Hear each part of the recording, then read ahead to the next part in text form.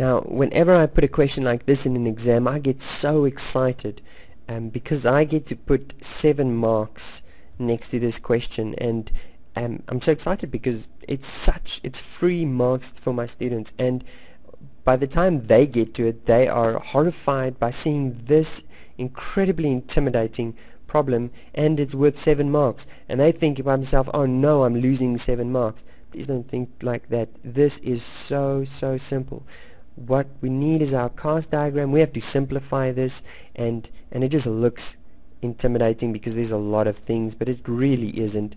Okay, now CAST diagram. Okay,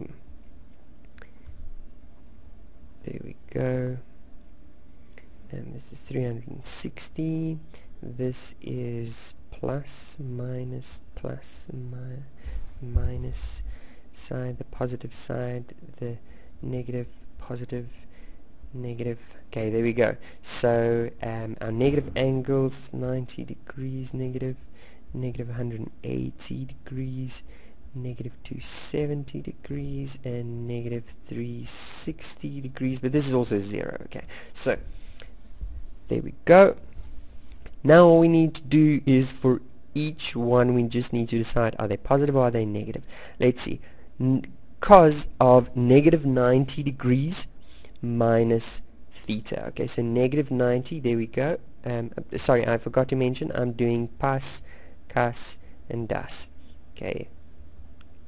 Okay, make everything positive, acute, and simple. So negative 90, there's negative 90 degrees, and I'm on the negative side which means I'm on this side where tan is positive. So cos must be negative but also the angle that I am making is with the y-axis. I don't want to be using y-axis angles. I want to be using x-axis angles and to change it I need to change that into its co-ratio which is sine.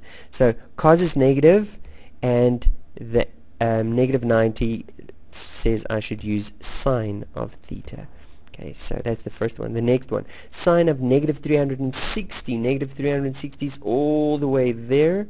Okay, all the way there. And plus is in the first quadrant where sine would be positive. And that's therefore just sine of theta.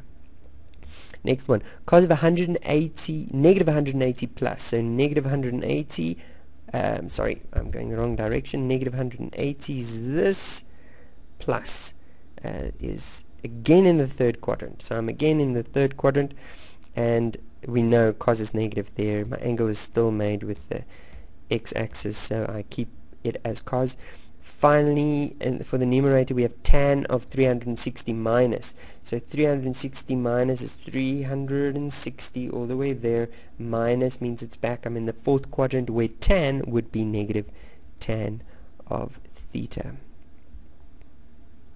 Okay, the next, the denominator there, we just have a cos of theta to start with. Then we have tan of negative, of 180 plus, uh, minus. So 180, there's 180, minus goes back a bit. Second quadrant where sine is positive and therefore tan is negative. So that becomes negative tan of theta. Okay, then we have sine of negative theta. Okay, so that's 0 minus, so that's in the the fourth quadrant where cos is positive so sine is negative. Okay and then for the last term 180 plus means it go all the way to 180 that's there plus is a little bit further that's in the third quadrant where tan is positive. So there we have tan of theta. Now we can just go and count the negatives and an odd number of negatives will mean it's negative. Even number would mean it's even. So 1 2 uh, sorry it means it's positive. So negative times a negative is positive. Negative positive negative. Okay so I get negative positive negative positive, negative. 1, 2, 3, 4, 5. An odd number means this expression will be negative, so put the negative in front. Now let's cancel factors that can be cancelled. That tan, that sine can cancel that sine. There's nothing to cancel with that sine. That cos can cancel that cos. That tan can cancel that tan. And finally we have left sine theta over tan of theta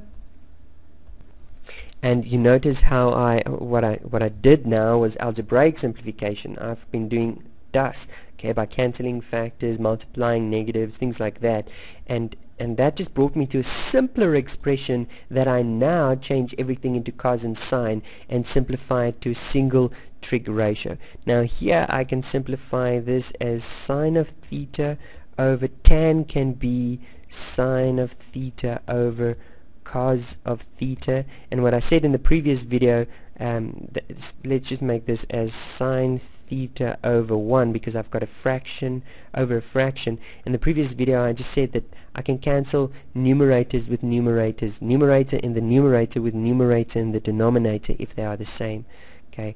But that's one way of doing it. Alternative is just tip and times so I've got negative sine of theta over 1 times and when I tip it now I get cos of a, of a sine and this this method seems to be a little bit more appropriate because it simplifies better okay? So those two divide into each other so that I have left negative cos of theta.